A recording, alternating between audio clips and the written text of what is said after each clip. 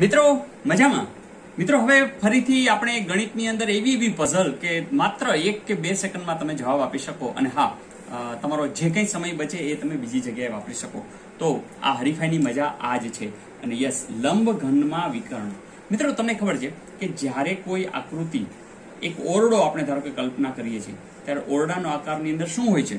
તો તમે જાણો જ છો કે એમાં લંબાઈ હોય છે. બરાબર? પહોળાઈ હોય છે, બી, અને હાઈટ પણ હોય છે. ત્યારે એવું પૂછવામાં આવે કે એની અંદર એક લાંબામાં લાંબો સળિયો, તો તમે જાણો છો કે દાખલા તરીકે આ બાજુથી કોર્નર પકડીને ઠેઠ આ બાજુની કોર્નર તો એ કોર્નર સુધીની જે લંબાઈ છે ને સૌથી વધુ હોય. તો આ માપ કેવી રીતે મળે?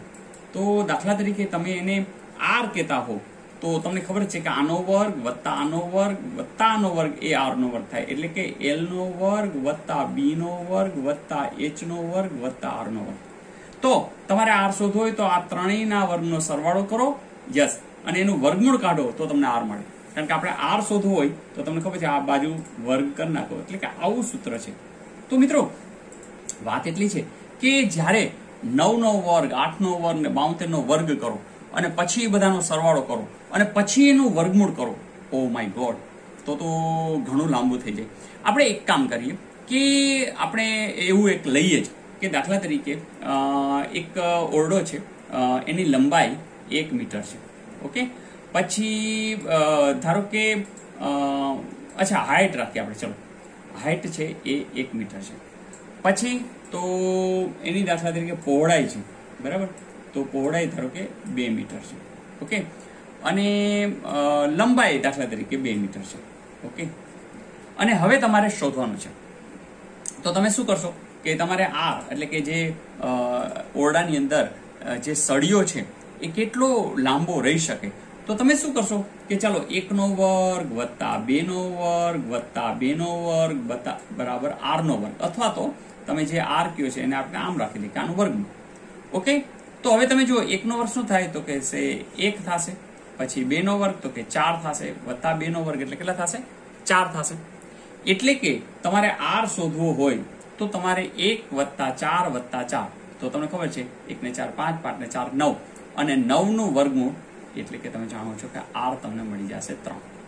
તો મિત્રો, તમે ગોતી શક્યા છો. પણ આ ગણતરી કરીને પણ આવું ન કરવું હોય તો, યસ, તો એના માટે સાવ સિમ્પલ. આવું કંઈ કરવું જ નથી. સીધું જોતા આવે. તો એવું કેવી રીતે થઈ શકાય? તો મિત્રો, આપણે ટેકનિક શીખીએ. પહેલી ટેકનિક સાવ સિમ્પલ જ છે. તમે એટલી તો ખબર છે ને કે ક્રમિત એના પછી કોણ આવે? ચાલો, એ તો ખબર છે. હું ચાલો બોલું પાંચ, તો એના પછી કોણ આવે? તો તમે કહેશો છ. બસ પૂરું. બિલકુલ સાચું છે. આઠ, તો પછી નવ આવે. દસ, તો પછી કે અગિયાર આવે. તો જ્યારે તમને એવું કંઈક આપ્યું છે કે જે ક્રમિત હોય, જેમ કે લંબાઈ અને પહોળાઈ, એક નવ છે ને એક આઠ છે, મતલબ કે ક્રમિત છે. ઇઝી ટોકાય તો ક્રમિત છે, તો કે હા, છે. એક તો એવી સંખ્યા મળે છે કે જે ક્રમિત છે. એટલે આઠ એવી સંખ્યા છે કે એના પછી નવ, એટલે એ બંને છે. મિત્રો, તમારે કરવાનું છે શું? જેમ કે આ ક્રમિત કોઈ દાખલા તરીકે લંબાઈ પાંચ છે અને પહોળાઈ દાખલા તરીકે છ છે. હવે એક બીજી વાત, જે અંદરૂની વાત છે.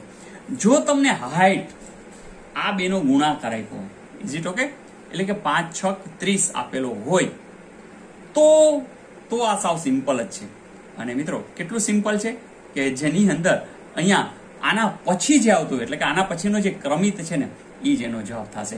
એટલે કે તમારે આર જો શોધવો હોય, તો એ એકત્રીસ હશે હશે ને હશે. આપણે ચેક કરી. ચાલો, પાંચનો વર્ગ તો તમે જાણો જ છો કે શું થશે? પચીસ. છ નો વર્ગ, તો તમે જાણો જ છો શું થશે? છત્રીસ. પાંચનો વર્ગ છ નો વર્ગ વત્તા ત્રીસનો વર્ગ. ત્રીસનો વર્ગ તો તમે જાણો જ છો. કેટલો થશે? નવસો. હવે કરો સરવાળો. છ ને પાંચ, અગિયાર, બે ને ત્રણ, છ, નવસો એકસઠ. હવે તમને ખબર છે કે એકત્રીસ નો વર્ગ એટલે શું થાય? તો તમે તરત ને તરત જવાબ આપશો કે સર ત્રણસો ને પંતેરી નવ, બરાબર? અને એક, એકત્રીસ, નવસો ને એકસઠ. હા કે ના? તો તમારો જવાબ બિલકુલ સાચો છે. એનો અર્થ એ થયો, મિત્રો, કે તમે તમે આટલું જ ચેક કર્યું કે અહીંયા આઠ છે અહીંયા નવ છે, તો આઠ, નવા બાઉતેર તો કે હા છે. ધેટ મીન્સ તો બાઉતેર પછી કોણ આવે? તાઉતેર તો મજા આવી મિત્રો? એક દાખલો આપું છું. તમે ટ્રાય કરો, આવડી જ જશે. હું ફેરફાર કરું છું. મિત્રો, આ જવાબ તમે, મને ખબર છે, ત્રણ સેકન્ડમાં જવાબ આપવાના છો. અને ધારો કે પાંચ થાય કે સાત થાય, તો કોઈ ટેન્શન નથી, કારણ કે હજી તો તમે ક્યાં પ્રેક્ટિસ કરી છે? પણ હા, તમારી હું કોમેન્ટ્સમાં તો રાહ જોઈશ જ. કારણ કે તમે વિચારી લીધું છે કે લંબઘન છે, સ્ટોરેજ છે, લંબાઈ ચાર મીટર છે, પહોળાઈ પાંચ મીટર છે અને ઊંચાઈ આપી છે વીસ મીટર. અને યસ, તમે જોઈ જ રહ્યા છો કે ચાર પચાસ વીસ તો થાય છે, ચાર અને પાંચ બાજુ બાજુમાં જ છે. મેં કીધું ક્રમિત હોવા જોઈએ, ચાર પછી પાંચ, એમ તો હોવું જોઈએ. અને એક ગુણાકાર હોવો જોઈએ. તો કામ પતી જ ગયું. તો વીસ પછી કોણ આવે? તો યસ, બિલકુલ સાચો છે, જવાબ તમારો એકવીસ. મિત્રો, ઊંધું પૂછાય? યસ, કે કોઈ એક લંબઘન કે સમઘનની અંદર સળિયાની લંબાઈ વધુ વધુ લંબાતો જે સળિયો છે, એની લંબાઈ આટલી છે? અને તમને પૂછે કે એક લંબાઈ પહોળાઈ ઊંચાઈ. તો એવો દાખલો તમને આવડે કે ના આવડે? મને ખાતરી છે, તમને આવડશે. જોઈએ. પણ એ પહેલા એક દાખલો ફરીથી એક આપી દઉં છું કે જે તમારે ફટાફટ ગણવાનો છે. મિત્રો, આગલા દાખલામાં એક ભૂલ રહી ગઈ હતી. લંબાઈ અને પહોળાઈ, બરાબર, નાની મોટી થઈ ગઈ હતી. પણ એ ભૂલ કદાચ ન થાય. પણ, બસ આટલી તો વાત છે. કે લંબાઈ આઠ મીટર હોય, પહોળાઈ છે સાત મીટર હોય, કારણ કે પહોળાઈ હંમેશા ટૂંકી હોય, બરાબર તો અહીંયા મેં બદલાવી નાખ્યું છે યસ તો સાત મીટર છે, આઠ મીટર છે અને ઊંચાઈ તો છપ્પન છે.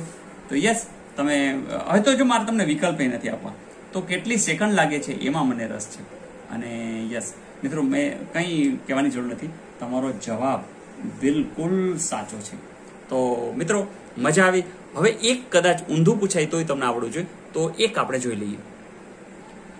મિત્રો, અહીંયા પણ અમે વિકલ્પ આપ્યો નથી.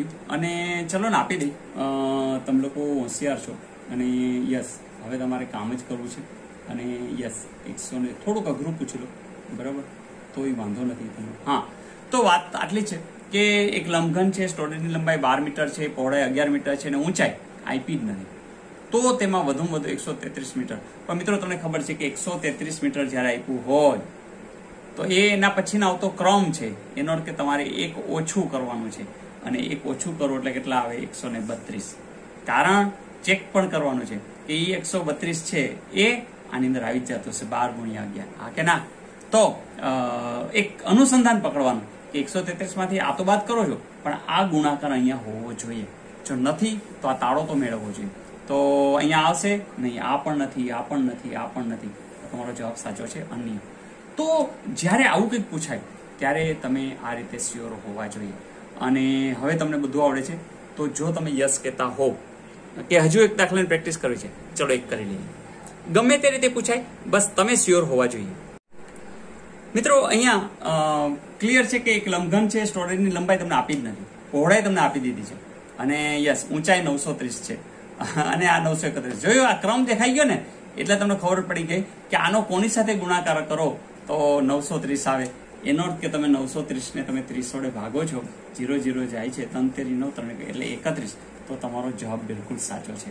તો મિત્રો, મજા આવી? તો ફરીથી એક દાખલો તમારા માટે હોમવર્કમાં, જેનો જવાબ તમારે ચોક્કસથી મને જણાવવાનો છે કોમેન્ટની અંદર, અને કેવી મજા આવી એ પણ લખવાની છે. આર યુ રેડી યસ મિત્રો. હવે તમારી સામે આ જે ઉદાહરણ છે, હોમવર્કનું એ તમે આંખું વીચીને, યસ, આમાં કઈ જોવાનું જ નથી. અને જવાબ આપી દેશો. પણ હા મિત્રો, રકમ વાંચ્યા પછી કેટલી સેકન્ડમાં તમે જવાબ આપો છો એ મારે જાણવું છે. અને એ જવાબ તમારો સાચો જ હશે, પણ બે વસ્તુ તમારે લખવી પડશે કે કયો જવાબ આવે. અને, યસ, કેટલી સેકન્ડમાં તમે આપ્યો? તો મિત્રો, આવું તો કેટલું બધું? હવે આપણે શીખતા જવાના છે કારણ કે તમે લોકો જોઈન બટન કર્યું છે.